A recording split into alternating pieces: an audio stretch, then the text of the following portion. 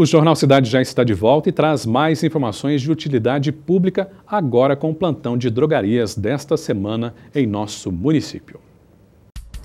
Até domingo, dia 29 de outubro, o plantão noturno é da Drogaria IP, da Avenida Rio Branco 330 no centro. O telefone para contato é o 3690-5800 e o plantão diurno é da Drogaria Americana, da Avenida Doutor José Justiniano dos Reis, 1469 no Sion, e da Drogaria São Lucas, da Avenida dos Imigrantes, 376 no Cidade Nova.